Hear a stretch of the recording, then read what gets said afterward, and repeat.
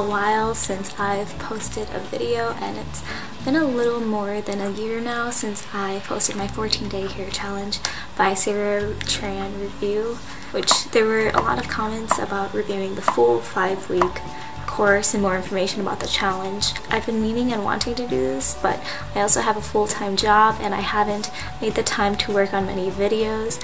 I also got engaged at the end of last year and we're now in the peak of planning for my wedding that'll happen next February which side note will also be our 10 year dating anniversary so that's been exciting and I've been trying not to stress too much and become a bridezilla so I plan to do a full video on the five week program once that's all settled down. I took notes on my iPad in the Concepts app which I kind of loved at first but now I kind of hate.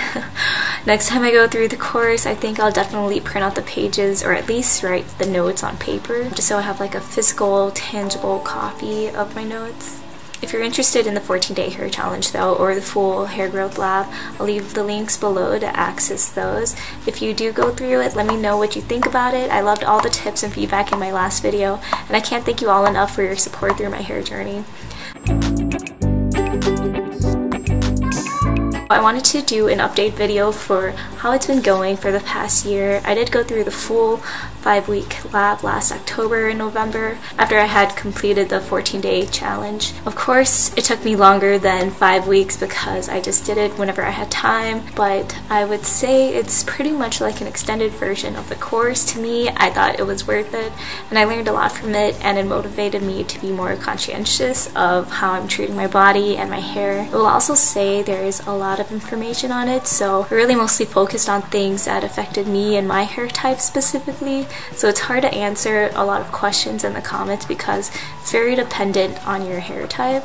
I will say what's so nice about purchasing the Hair Growth Lab is that you also have lifetime access to it. So I've gone in a few times after doing the full course to look at some of the resources on there for shampoo and conditioner recommendations and just other information. And they're also always adding updates and sending out encouraging messages from the community, which is also very motivating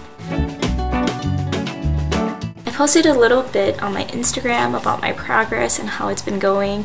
So I'll just go through that story. So I bought this boar bristle brush and scalp shampoo massager, but I will say I don't use it as much as I probably should. I do usually use hair cloths in my hair typically now ever since going through the course. The green tea toner was alright. It was one of the products that Sarah had recommended. I don't know if I'd purchase it again though for me personally. Lately I haven't been using oils on my scalp just because my shampoo right now leaves my hair pretty dense, but I do use it on my ends, typically before I shower or overnight. At the beginning of this year, in January, my hair from my chin was 9 inches. I do still have a lot of this almond oil left and I love using it on my ends that was actually suggested from one of the comments in my last video, so thank you. I'm enjoying the Carina Organic products, the Avalon Organics though, I think I could do without. I don't think my scalp was enjoying it much after a little bit. I still have crazy split ends, but that's alright. I found this lady on TikTok Lily Van Brooklyn and she just has the most amazing hair. So I watched a lot of her tutorials too. The current shampoo I'm using is actually the one showed in her video, the Shea, Shea, Shea, I don't know how to say it, the Shea Moisture Coconut and Hibiscus shampoo and conditioner and I think it's wonderful and it smells so delicious. I find myself always wanting to smell my own hair, which I probably look crazy, but it smells pretty good, like coconut. I love the Carina leave-in conditioner still. I definitely notice a difference in how I'm able to comb through my hair after I use it. The apple cider vinegar rinse just left my hair smelling way too much and I did not enjoy it. I also really love the way the Fructis Garnier avocado conditioning treatment smells. I've been using that as well some days.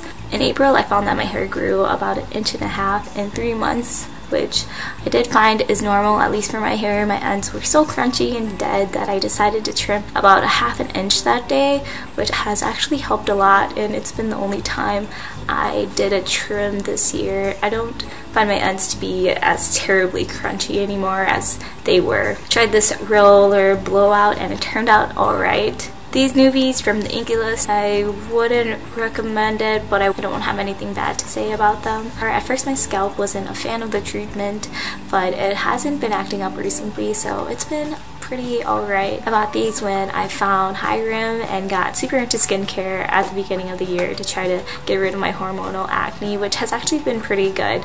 Um, I have a pimple right now, but um, it's been the first one in a very long time. And then there was a big jump in the story because summer was just so busy, but on August 17th, my hair was 11 and a half inches, and now in October, it's 12 and a half inches, which means my hair should grow around 5 to 6 inches every year, so that was pretty cool to figure out and see.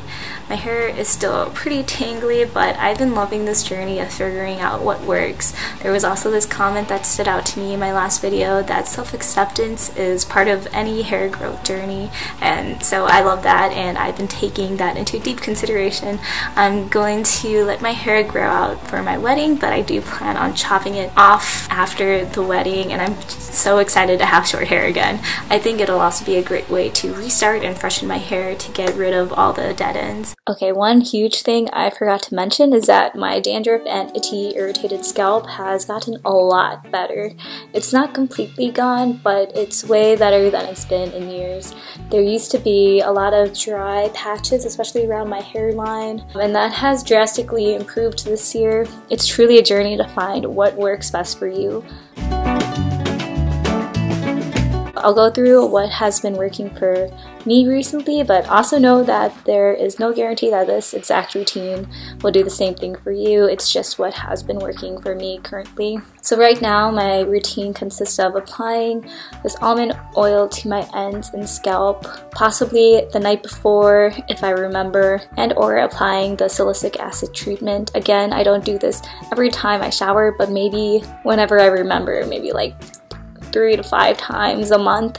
I'm finding that showers every two to three days using this coconut hibiscus shampoo and conditioner and trading the shampoo in with the Carina Organic Sweet Pea one. My scalp is feeling too dense, has been working well for me. Once my hair is dry or mostly dry, I'll apply either the nourishing treatment or some type of oil that smells good. This one in the blue bottle is argan oil. The other one I've been using I think is like the macadamia orangey smelly one. Before I brush or style my hair, I spray on the Carina leave-in conditioner as I mentioned earlier. I do notice a difference when I use this and I've been really liking this product. Also note that there are days that I do forget to do this and I don't follow every step of the routine so I'm definitely not perfect at keeping up with it but it's still been working out for me. If you've made it this far, thank you for listening to my hair journey this past year.